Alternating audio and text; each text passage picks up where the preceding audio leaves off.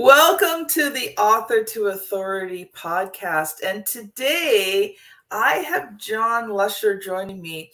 And this has been a real privilege. Now, at the beginning of the month, you guys heard the episode with Mike Garrison and Can I mm-hmm. Borrow Your Car on referrals?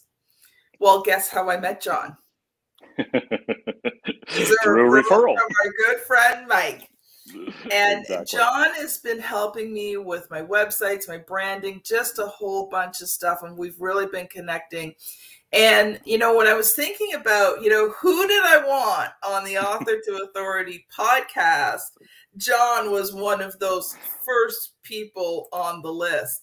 Now, John is a chaos coordinator, also known as the president of the Social Buzz Lab is a 25 year veteran of incorporating networking, marketing, and digital media to build robust relationships for individuals, nonprofits, organize, nonprofit organizations, and businesses. And prior to owning his own business, John spent 15 years in business development and marketing in the technology and restoration industries. Now, interesting thing John was one of the keynote speakers at the inaugural Orange County Social Media Summit in May of 2012 and was mm-hmm. voted one of the top 125 people to follow on Twitter. That is pretty impressive. now, when John's not working, he enjoys good conversations, a well aged bourbon, and exploring the beaches of the world. Well, welcome to the show, John. Thank you, Kim. I appreciate that intro. That uh, that what all that boils down to, and what it says, it just means that I'm old. All of those years of experience, I guess. but well, I'm, I'm very glad to be the here. Beaches of the world, where I live, I'm 200 feet up from the Atlantic Ocean. So maybe at some point you'll have to come up for a visit and do some beach combing. I was going to say I would love to do some beach combing there, just because it's going to be uh, quite a different environment than most of the beaches I'm used to. Because I'm used to more the uh, uh, you know the tropical type beaches, but that doesn't mean that uh, the beaches where you are are not lovely because they are, and it would be nice to explore those as well. but no, I, I, appreciate the introduction, and, and I'm glad that that Mike inter, introduced us. I, I have the honor and privilege, or uh, if you want to think of a negative word to throw in there, of knowing Mike for a number of years, working with him over the years. So it's a, it's all good though. We we like to you know poke at each other in, in that matter, so it's okay. well, I'm going to make sure he listens to this just so he knows you've done it. please, please do. so just before the show, we were talking about missed opportunities on social media. And I, mm-hmm. I really want you to go into that today. But just before you do that, this is the first time on on the Author to Authority podcast. Hopefully, not mm-hmm. the last. But Hopefully. I'd like you to take a couple of minutes and just introduce yourself. Tell a little bit about mm-hmm. your story, and how did you become the chaos coordinator? well, I'll, I'll, I'll back it up a few years, and we'll we'll get to that here shortly. Um, spent a lot of time in uh, direct business to business sales. Uh, that's where the the technology piece uh, in my introduction came in. Uh, literally sold everything from uh, photocopiers to wait for this fax machines when they first became commercially available. Told you I was old. Uh, all the way up through uh, telephone systems and uh, computer networks. So have a little bit of a uh, sales technology background, I guess you'd say, um, and which was a lot of fun, very interesting. But uh, at a certain point, I was like, okay. I could stay in sales my entire life and and you know make a good living at it, but uh, you know the older you get, the more that you want to do something more. And marketing has had always been uh, a passion of mine. And uh, in my sales career, I was doing a lot of marketing for myself. So uh, I was used to doing that anyway and started working with. Uh, as you mentioned, some people in the restoration industry, and it's a it, the restoration industry is is a funny industry. They're the people that you call whenever a pipe bursts or you have storm damage, and for a number of years, they literally did no marketing, no advertising. They didn't have to uh, friends in the insurance agent's office would call them. They had all the business they could handle. Well, as more and more companies started having programs that you had to qualify for, these smaller independent restoration companies decided we need a website, we need to market ourselves. And it was a good opportunity that I got to work with several of them in the marketing field. And all of this happened really when uh, people were finally saying, okay, I've got to have a website, but then what? Well, then social media started taking hold back in the early days of you know uh, life before facebook or life when facebook and twitter was just really becoming widely known i decided to go more into the marketing field overall and as we were talking before before the broadcast started we actually had back in the day in-person meetup groups almost like networking groups that really their purpose was to talk to business owners about mm-hmm. here's how you use social media. Okay, you've got a Facebook account. Great. Now set up a page for your business. And eh, fast forward from there to, to now, look at how much has changed over the past, let's just say, five to 10 years as far as the social media landscape.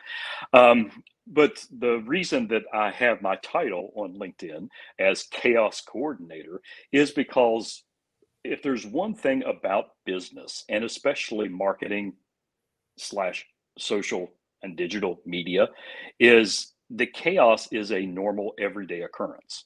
Something changes almost every day. To give you a prime example a lot of people have been complaining today that they're having problem with instagram.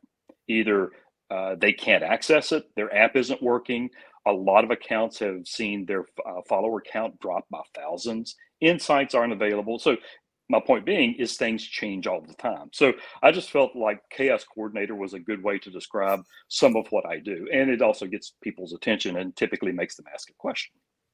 So fast forward to today, as, as I was saying, and really what, what we do, the Social Buzz Lab is a, is a digital marketing agency. That's our core. Uh, we also work with clients for traditional uh, what you would consider traditional advertising, traditional marketing. But we do websites, as you mentioned. We handle a lot of clients' uh, social and digital accounts, or we help them with a content calendar to plan out their posts and things like that. Um, but you you mentioned uh, as you were introducing me, talking about missed opportunities, which I think is a perfect way to describe it because I still to this day, which kind of surprises me after this many years. I still to this day see a lot of companies and a lot of people missing probably the best opportunity as it relates to their audience on social media, and that's not engaging with their audience on a proactive uh, basis. They react whenever they get a message, whenever they get a comment, versus being proactive about it. And that's something that uh, I believe, as long as we have social media, I think that'll be um, probably uh, a mountain that we have to climb. Mm-hmm. Well, you know, you a couple of interesting points when you talk about chaos coordinator mm-hmm. when it comes to business. You're right. Mm-hmm. I mean, there's there's some days where you're just like, I, I don't know which way I'm going. I don't know which way's up. I don't know which way's down. I just want this day to be over, right? And you mm-hmm. know, I think sometimes you know we've we've been taught that success should look like a straight line up and it doesn't it looks like a bowl of spaghetti some days you know goes here there everywhere and mm-hmm. around and twists and turns Absolutely. and you wonder if you're ever going to get there mm-hmm. and so I, I love that title and you know one thing i've been thinking a lot about lately um, in terms mm-hmm. of my own social media is you know how am i engaging how am I mm-hmm. creating those relationships? Because I mm-hmm. think that's key today. Like people don't want to be spammed. They don't they don't want to just you know see buy my mm-hmm. stuff buy my stuff buy my stuff I, i'm really thinking exactly. about you know because I, I focus in on linkedin right now you know mm-hmm. how do i create those relationships and you know how do i mm-hmm. engage with those new connections i mean i engage mm-hmm. fine with you know all the people i know and love like you you and right. you know and mike and larry and all those mm-hmm. people i mean that's easy right but you but know it's how, the new connections it's tough yeah exactly so what i would love for you to do john is can you mm-hmm. just take a little bit and talk about engagement and how you see it today and and how you feel are you know what are the best ways to create that engagement in 2022 because like you said we are missing opportunities. I miss opportunities. You know like i i want to bang the head against the wall when you know someone that i've talked to a few times over the years mm-hmm. and all of a sudden they're publishing a book with someone else i'm like mm-hmm. uh hello? Like and then i think yeah but when remember me? hello I, when was the last time I talked to that person? Right. So, right. Mm-hmm. Well, and since you know this is being um, uh, broadcast live on LinkedIn, I'm going to talk about LinkedIn uh, for this specific example, but it can apply to other social platforms. New connections is the most challenging as far as engaging with those new connections. And I started years ago uh, when somebody would send me a connection request, and we we all get them. We get the ones that are just the you know they click the button and LinkedIn sent it, no personalization. I get the ones that are very personalized, which is fantastic, and of course you know you get a mixture of the two. Um, I started several years ago that when somebody would send me a connection request, the first thing that I would do is look and see, okay, who is this person? You know, could we have met somewhere, or is it a friend of a friend? Like Mike introducing the two of us. And a lot of them we have mutual connections. So at that point, I decided to connect or not to connect with them. And I don't send, or I typically do not send a message to them immediately. I kind of wait a little while and see if they're going to send a message. Uh, if I look at from a percentage standpoint, it's probably about 50 50. Uh, some do, some don't. Well, once they do send me a message, I'll reply to them. I'll say, you know, thanks for connecting. Uh, you know, we have some mutual friends. Uh, if I can ever be of service or if I can, you know, uh, help in any way, just let me know. Not selling them anything, but just saying, hey, thanks for connecting. Well, some reply, a lot don't. Uh, it's probably more of a from a percentage standpoint, probably about 30% reply. Uh, the rest of them may reply or maybe a week later when they reply, which is fine. But then I try to at least once a week, and you know, I, I'm as guilty as the next person. At least once a week, I try to go in and look at those people and look at what they're sharing. But here's the interesting thing about it a lot of them are still not sharing content. So I go mm. look at their profile, say, okay, I would love to engage and comment on something and see what they're up to, and they're not sharing anything.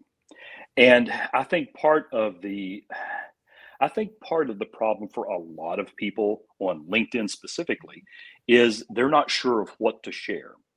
And there's still, to a certain extent, there's still that mindset with LinkedIn of, well, that's where you look for a job. I'm not really active on there because I'm not looking for a job. Or I've, i had a friend tell me one time she wasn't active on LinkedIn because her employer was would wonder if she's looking for a job. I'm like, really?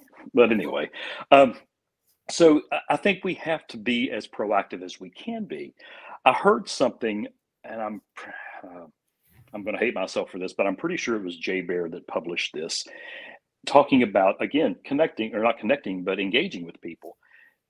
His plan i'm going to really feel bad if it wasn't jay but i think it was his suggestion and his plan was to go look at your connections the people that you've been connected with doesn't matter how long and you know go to 25 of their profiles a day let's say or pick whatever number you're you're comfortable with and try to leave a meaningful comment or try to engage with something that they had shared again, the real interesting part about that, Kim, I started doing that.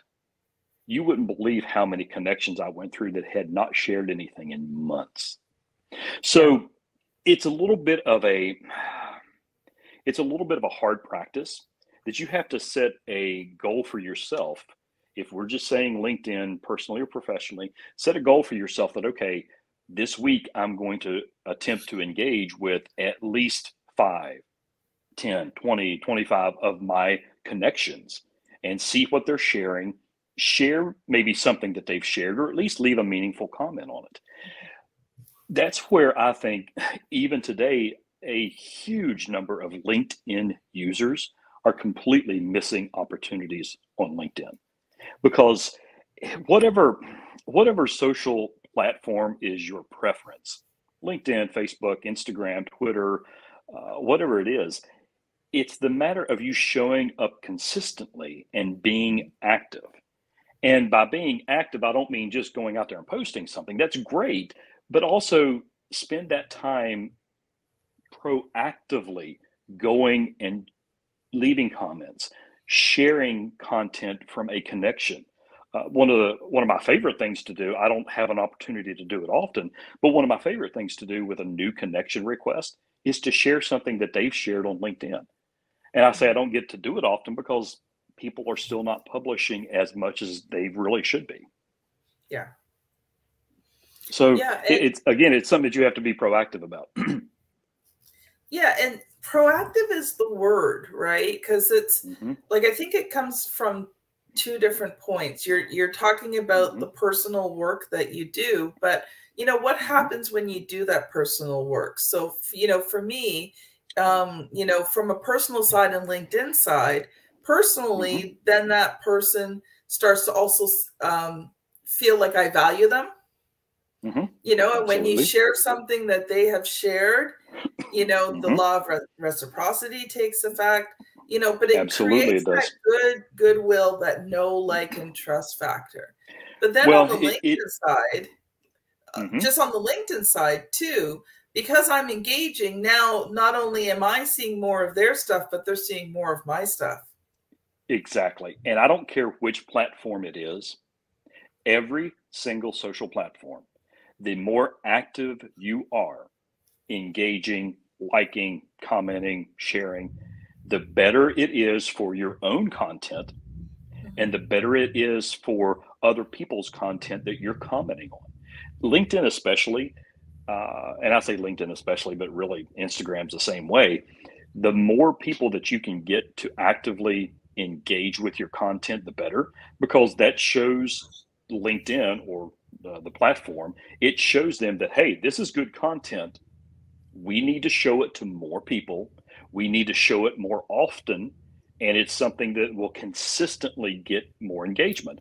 I mean, I've noticed for myself, the more consistently I share content myself and engage with other people's content, the more my content has better insights, gets more reach, gets more likes, engagements, what what you know, however whatever metric you want to use to determine, hey, is this good content or am I wasting my time?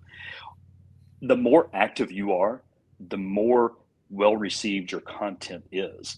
And of course, I'm talking more predominantly about LinkedIn, but it works for other platforms as well. I, see brands uh, that are very active on Instagram, as an example, and they're active within their own account.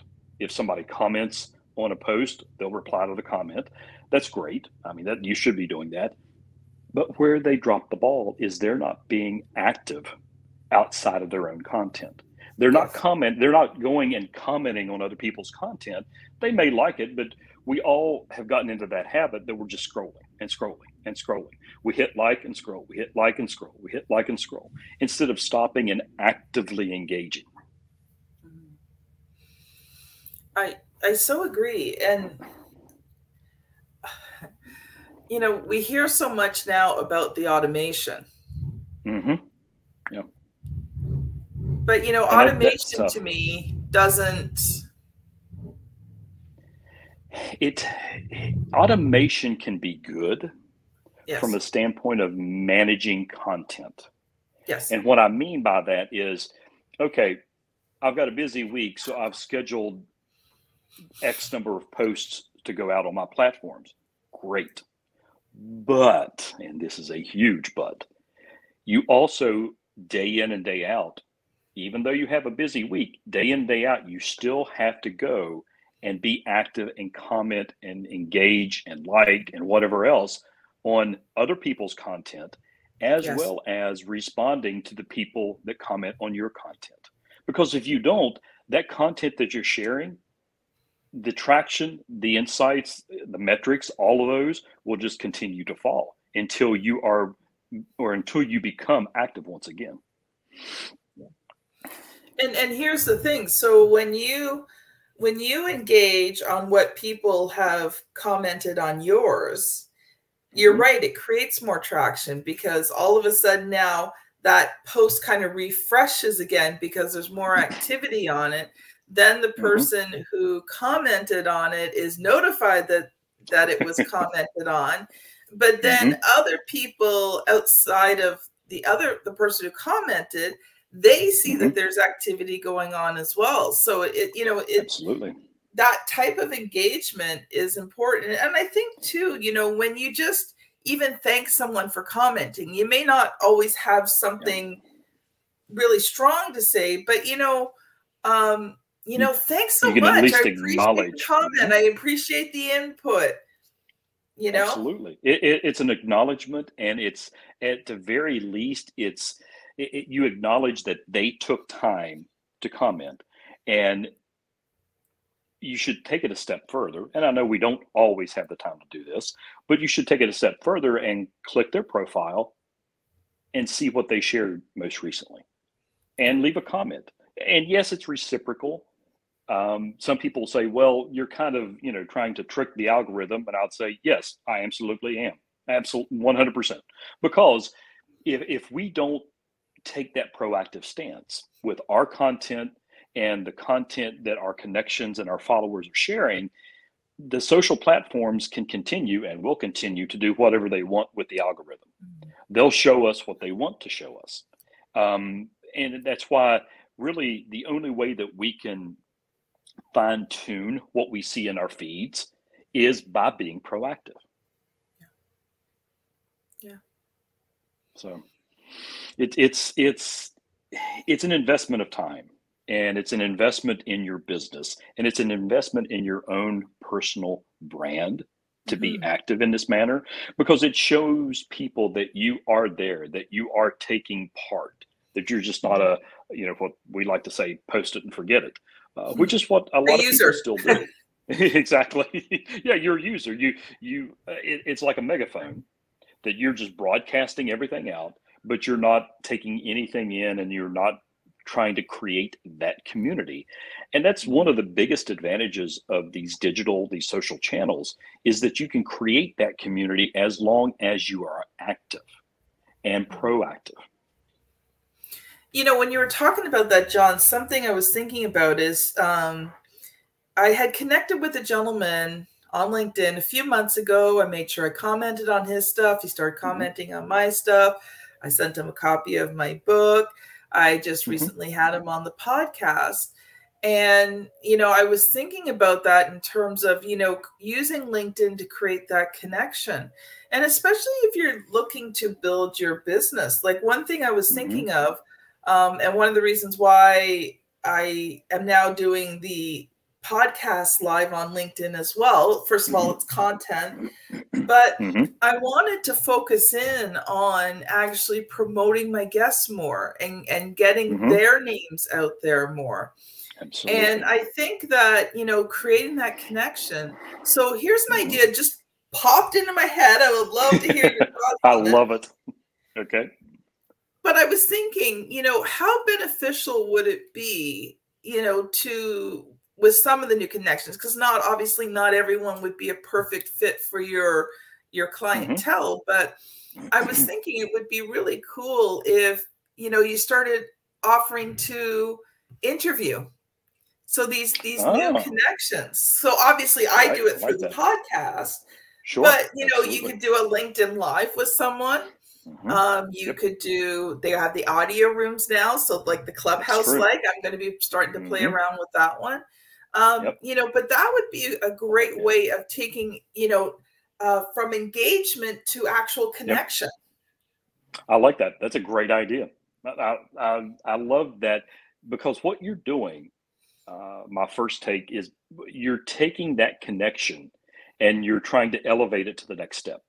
You're not just leaving it as a connection on LinkedIn or a follower on Instagram or Twitter or whatever. You're taking that connection and you're elevating it. And I also think it'll have an added benefit, maybe not the right word, but I think it is an added benefit. It'll also kind of help to weed out serious connection requests, serious connections versus, oh, well, I saw that you were a friend of John Smith, so I'm going to click connect. And uh, let's be real. Let's be realistic. We all get those. And again, I'm not saying anything against those people. They may be a good connection request. They may not be. But I think it'll also you'll find the ones that really want to connect and take it to the next level, and you'll find ones that won't.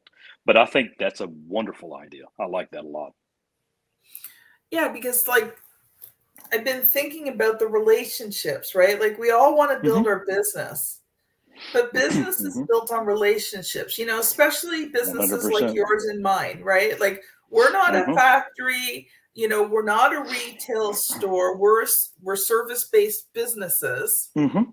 Yep, now we 100%. may have employees or people who work for us or whatever, but you mm-hmm. know, we're not a traditional store in that sense. And you Correct. know, for me, I've, I've been thinking about, you know, how do I develop those relationships?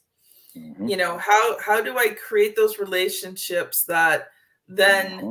You know build my business on top of it? Because absolutely when you build that relationship, then all of a sudden you come to mind. It, it was funny, quite a mm-hmm. few years ago, before COVID, I was at a networking meeting and I, mm-hmm. I was sitting in a group of people and I met this one gentleman and you know he uh, he was interested in possibly writing a book you know we had some mm-hmm. conversations i connected with him on social media you know i was commenting on his stuff things like that um, and it didn't work out with him and that was fine mm-hmm. it wasn't the right timing you know all that kind of stuff sure cool absolutely but because i kind of stayed in his mind Mm-hmm. The moment a friend of his said he wanted to write a book, because I had created that know, like, and trust factor, I had invested mm-hmm. in him, I'd given him some value, created a relationship. Guess who got mm-hmm. the business? Exactly. Because you were top of mind. You, you stayed in connection with them and you were proactive about that connection. And really, the way that I personally and even professionally look at social is you're planting these seeds. Some mm-hmm. of these seeds may yield something today, some may yield something tomorrow, some may yield something a year or five years from now, some may never yield me anything, but it may yield someone else something.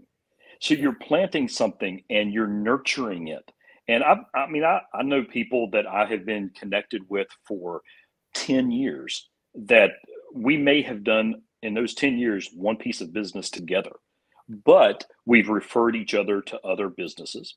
We've helped each other out with other projects that were not business related. So it was a valuable connection. And I look at each connection as it having potential value.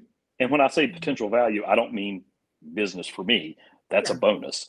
But I mean, potential value as in my own network, or maybe it's somebody that I could refer to you because they're talking about wanting to, to write a book. Maybe it's someone I could refer to Mike.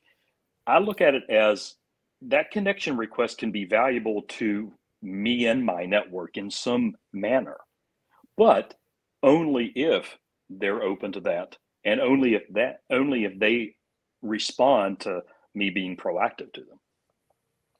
I so agree. So agree. so, so, John, we're just mm-hmm. about at the end of the podcast here. Um, Time flies when we have fun.